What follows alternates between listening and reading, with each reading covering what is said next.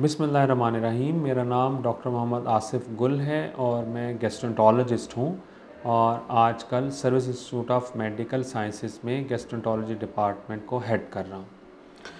क्या जिगर की गर्मी के लिए दही खाना फ़ायदा मंद है या नहीं? हम अपने इस छोटे से वीडियो क्लिप में इसको डिस्कस करेंगे। एक्चुअली मेडिकल साइंसेस के अंदर दही का खाना जिगर की गर्मी को फ़ायदा नहीं पहुँचा सकता, ऐसा कोई एविडेंस मौजूद नहीं है, लेकिन दही चूँकि एक हेल्दी डाइट है और इससे हमारे अगर हम इसको साफ़ सुथरे तरीके से इस्तेमाल करें कि हमारे हाथ साफ़ हों, हमारे बर्तन साफ़ हों और हम जो भी स्पून वगैरह इस्तेमाल कर रहे हैं, वो हाइजीनिकली बहुत अच्छा हो तो इसका खाना हमारे ओवरऑल निज़ाम निज़ाम के लिए या डाइजेस्टिव ट्रैक के लिए डाइजेस्टिव सिस्टम के लिए बहुत फ़ायदा मंद होगा। और लिवर भी चूँकि डाइजेस्टिव सिस्टम का एक पार्ट है तो इनडायरेक्टली ये उसको भी सूद करेगा।